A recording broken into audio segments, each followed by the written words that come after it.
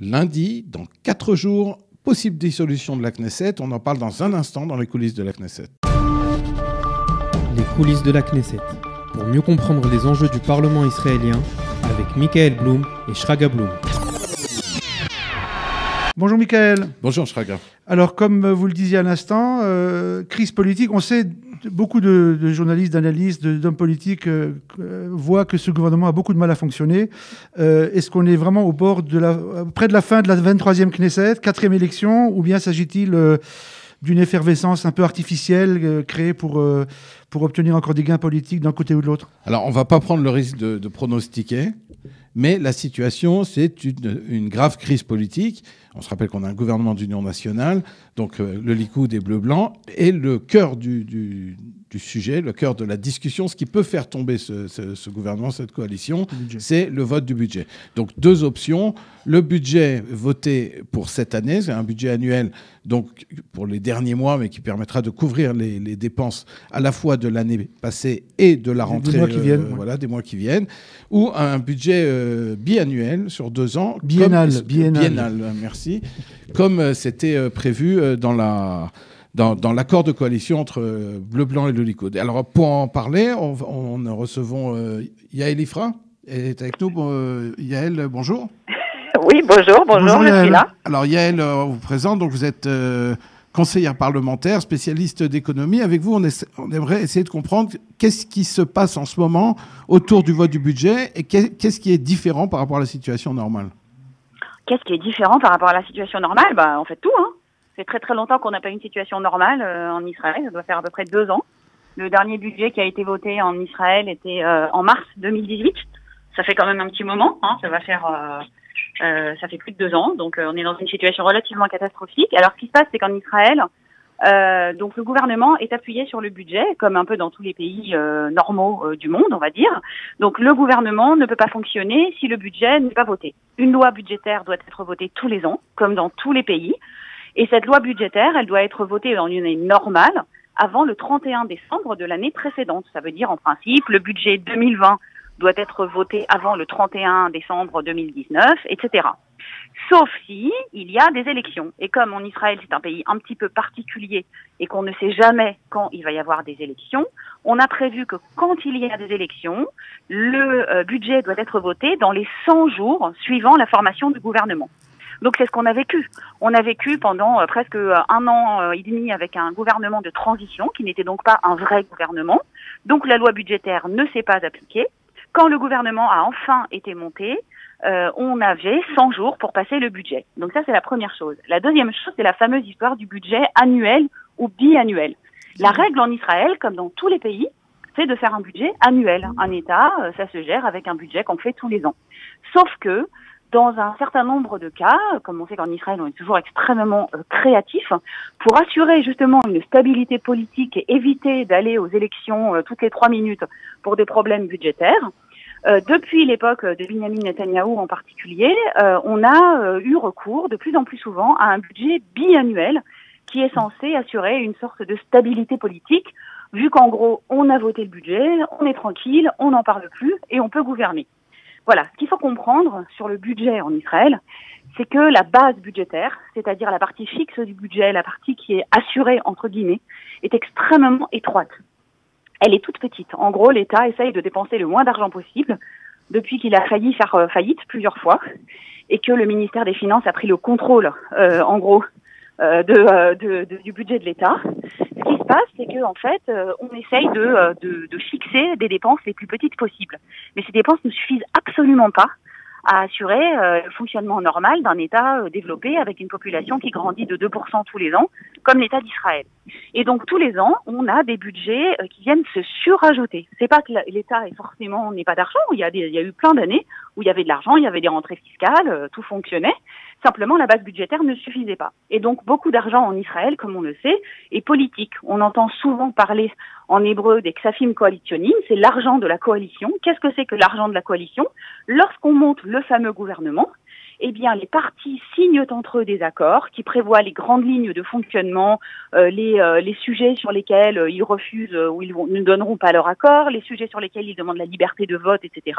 Mais aussi il subordonne la participation au gouvernement à la réception de budgets qui sont des budgets, on va dire, sectoriels ou des budgets politiques, des budgets qui concernent en fait leurs électeurs, puisque vous savez qu'en Israël, chaque parti politique représente un groupe d'électeurs. Et euh, par exemple, euh, quand euh, Israël Béthénou d'Avigdor Lieberman est au gouvernement, on va demander de l'argent pour les russophones. quand ce sont les partis ultra-orthodoxes qui sont au gouvernement, comme depuis une quinzaine d'années, eh bien, ce sont des budgets pour les yeshivot, les idem pour Naftali Bennett, qui a en gros à lui tout seul financé tous les mouvements de jeunesse et également le, les les institutions scolaires du sionisme religieux. Et en fait, cet argent-là, quand il n'y a plus de gouvernement, eh bien, il, n'arrive plus, puisque ce n'est pas dans la base budgétaire. Yael, je, vous interromps un, instant, mais La, question euh, qu'on se pose, que là, on est un peu limité par le temps, c'est on, on parle à quatre jours d'une possible dissolution de la Knesset. Est-ce que ce budget, votre pronostic, votre expérience à la Knesset dans le domaine, est-ce que ce budget, va y avoir un vote sur le budget? Parce qu'on parle, en fait, rappelons-le, on l'a pas dit, un vote sur le report du budget de plus de trois mois, une loi qui permet de reporter le Alors, vote du budget. je vais faire très très vite. Je vais faire très très vite. Donc, ce qui s'est passé, c'est que les 100 jours, les fameux 100 jours, expirent euh, le 25 août. Ils expirent donc lundi prochain. Mmh. Donc, quand on est, quand euh, donc cette période, de, au bout de 100 jours, le budget n'a pas été voté, la Knesset se dissout automatiquement et on va aux élections. Pour éviter cela, les deux députés euh, de Derer Heret, donc Yoaz Handel et Tzvika Hauser, ont présenté une proposition de loi visant à proposer, donc proposition de loi privée, donc gouvernementale, hein, n'est-ce pas, qui vise à repousser ce délai encore de 100 jours, c'est-à-dire jusqu'à fin novembre. Cette loi est passée en lecture préalable, puisque c'est une loi privée. Les, le Likoud et Carole Lavanne étaient plus ou moins d'accord pour la pousser. Et puis tout d'un coup, selon les circonstances politiques, on s'est mis à y ajouter toutes sortes de conditions. Donc ce qui s'est passé, c'est qu'hier, euh, la commission des finances, dirigée par Moshe Gafni, Yahadut Torah, religieux lituanien, a donc euh, discuté la loi pour l'amener en deuxième et troisième lecture, parce qu'elle est passée en première lecture, et c'est là que le euh, débat a explosé, puisque chacun, chacun des partis est arrivé avec des exigences. Niki Zohar, euh, qui dirige la coalition, est arrivé avec les exigences de rajouter de l'argent pour les yeshivot, mais aussi pour le budget d'éducation, mais aussi pour toutes sortes d'autres programmes, et de l'autre côté, l'opposition, qui est aussi présente à la commission des finances, a réclamé encore d'autres, d'autres, d'autres budgets, et en fait, on s'est mis à utiliser cette loi comme une sorte de fourre-tout, alors qu'en fait c'est juste une loi qui est destinée à repousser le budget. Euh, le débat a explosé. Dimanche matin, 10h30, la commission des finances se réunit. Ce qu'il faut savoir, c'est que je finis très très vite. Binyamin Netanyahu a prévu de prendre conseil auprès de sa famille, nous dit-on, pendant le week-end afin de décider de ce qu'il veut faire. Et en fait, euh, Miki Zohar arrivera dimanche avec des instructions, faire exploser le débat, afin que la loi ne puisse pas être présentée en deuxième et troisième lecture avant le 25 août ou la faire passer à toute allure. Elle sera votée à ce moment-là, lundi soir, et on évitera les élections. Euh, dernière question, euh, avec une réponse rapide si possible, cher Yael. Euh, nous, on, on, est un peu loin de ça, mais vous, vous êtes à l'intérieur de la Knesset, vous suivez le, le pouls de la Knesset, POLS, je précise. Est-ce que ce débat entre budget biennal et budget sur l'année, c'est une question de fond qui est vraiment importante, ou bien est-ce que c'est euh, un outil politique de, chacun des deux partis pour essayer d'obtenir des gains, ou est-ce que c'est vraiment une question de fondamentale, quoi, au niveau de l'économie? Non, c'est strictement politique. Euh, le ministère des Finances a déjà terminé de préparer le budget 2020 et le budget 2021. Ce qui se profile, c'est qu'il y aura probablement pas de budget 2020 du tout, parce que si on va aux élections, de toute façon, ça se passera pas. Si on va pas aux élections, ça sera en novembre. Il sera, ils vont pas le voter avant et ça sera trop tard. Ça n'a aucune importance. Euh, le ministère des Finances a, est prêt. En fait, il peut passer le budget dans les 15 jours. Euh, c'est, le budget est pris en otage pour des raisons politiques, comme un peu tous les sujets en Israël, qui servent toujours de, d'otages politiques pour faire avancer des intérêts euh, de partis. Bon, merci beaucoup Yael et bonne continuation à la Knesset. Merci Yael. Merci beaucoup. Voilà. Bonne journée. Bien, alors on en saura un peu plus euh, dimanche. Et voilà, on, en reparlera la semaine prochaine, on sera après. Voilà. On change de sujet totalement avec euh, une disparition d'un personnage qui était assez emblématique en la personne de Gershon Shafat. Qui était-il et qu'a-t-il fait dans sa vie? Alors Gershon Shafat, qui est décédé euh, cette semaine à l'âge de 92 ans, a été euh, député pendant 6 ans et son nom est quasiment inconnu du grand public. Mais il a, fait partie vraiment de l'histoire d'Israël. Il a, en 1946, fait partie des. Il était né en, Autriche. Il a fait partie de ceux qui, ont créé le kibbutz Ensurim dans le Gush Etzion avant la création de l'État d'Israël.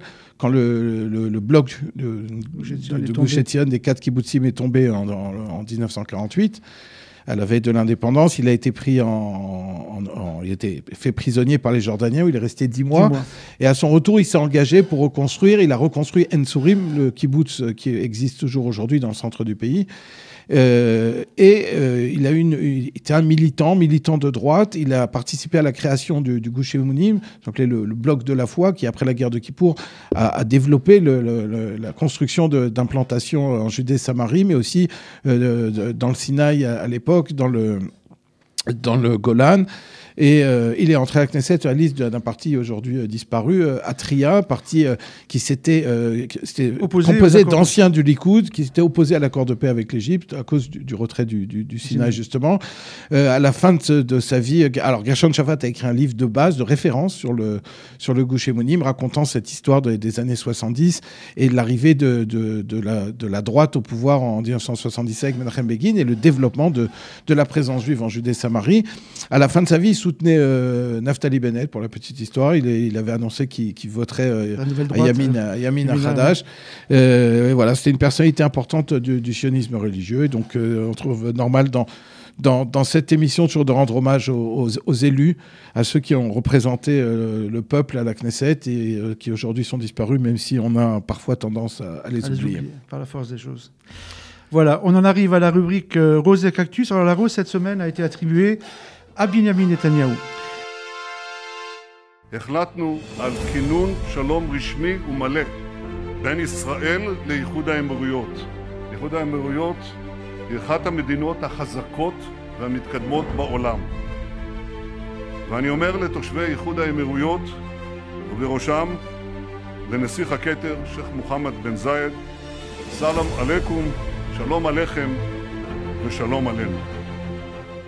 Euh, Benjamin Netanyahou s'est avéré, en tout cas avec la, la, la bombe diplomatique de, de, cette semaine. Oui, on, on, on pense que nos auditeurs sont au courant qu'il y a un accord de paix signé voilà. par Netanyahou et les Émirats. Voilà.